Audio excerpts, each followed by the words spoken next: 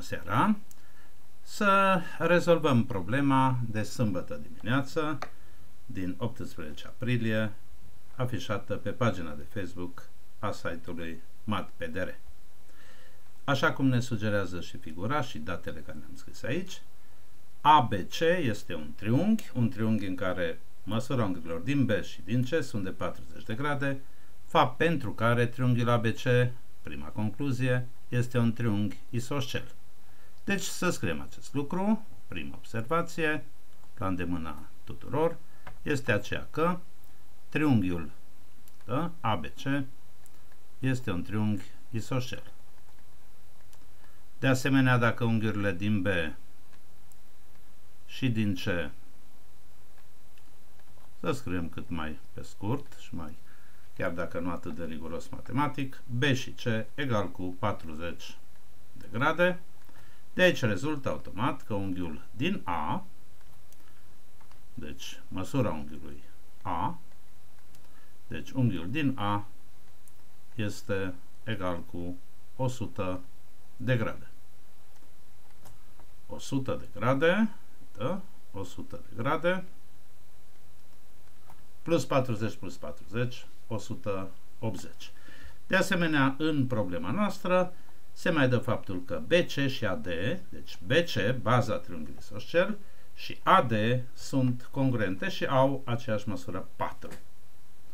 Cu alte cuvinte, latura, o latură a triunghiului isoscel a fost prelungită până în D, astfel încât AD să fie egal cu BC. Tot figura ne sugerează și faptul că AM este perpendicular pe DC și trebuie în aceste condiții să calculăm latura AM.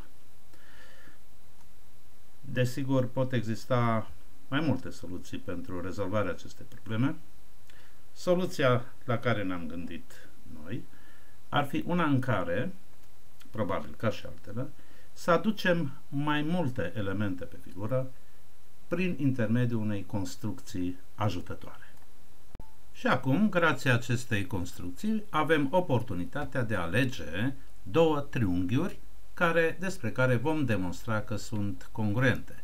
Două triunghiuri în care să angajăm cât mai mult din datele probleme, adică să conțină pe AD, respectiv pe BC într-o anumită formă, pe BC sau pe BE sau EC, pentru că toate laturile triunghiului echilateral sunt congruente. Iată triunghiurile ADC și triunghiul CEA. Să scriem aceste două triunghiuri. Deci triunghiul, iată triunghiul ADC și triunghiul CEA, să urmărim elementele congruente. Mai întâi, cele două triunghiuri, iată, A DC și CEA au o latură comună, AC, deci să scriem acest lucru, AC, latură comună,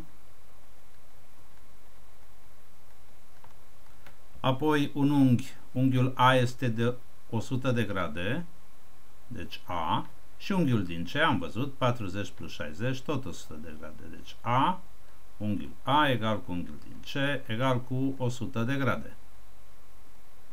De asemenea, cele două triunghiuri au AD, care este 4, egal cu BC, dar aici avem triunghi echilateral, deci egal și cu CE, care este de asemenea 4.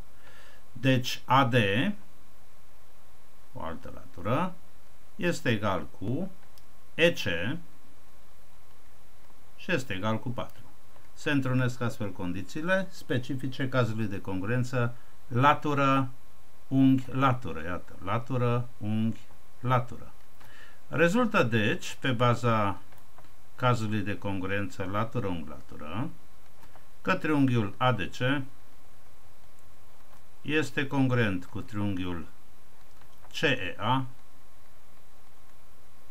și de aici ceea ce ne interesează în mod deosebit și celelalte elemente sunt congruente, dar ceea ce ne interesează este în mod deosebit Unghiul din D este de asemenea congruent cu unghiul din E.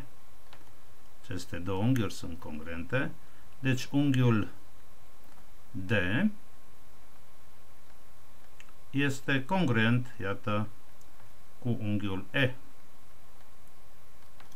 Spuneam la început, când am făcut construcția triunghiului equilateral, că A este înălțime comună, este și bisectoarea comună celor două triunghiuri. Deci unghiul din E este de 30 de grade, este jumătate din 60 de grade, deci 30 de grade. Deci dacă E este egal cu 30 de grade, atunci rezultă, da, rezultă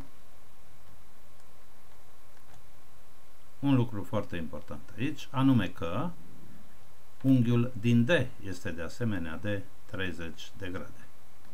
Deci unghiul din D este de 30 de grade. Și acum uh, ne îndreptăm atenția asupra triunghiului dreptunghic AMD, căci AM din ipoteză este perpendicular pe DC.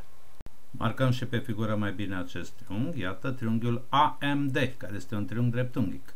Deci, în triunghiul AMD, care este un triunghi dreptunghic, bineînțeles, în punctul M, avem măsura lui D, deci unghiul de D este de 30 de grade, proprietate atunci cunoscută, cateta care se opune unghiului de 30 de grade este jumătate din ipotenuză. Deci de aici rezultă că AM, aceasta este cateta care se opune unghiului de 30 de grade, este egală cu AD, ipotenuza, supra 2, adică AM este egal cu AD, care este 4, supra 2 egal cu 2. Deci AM, iată, este egal cu 2.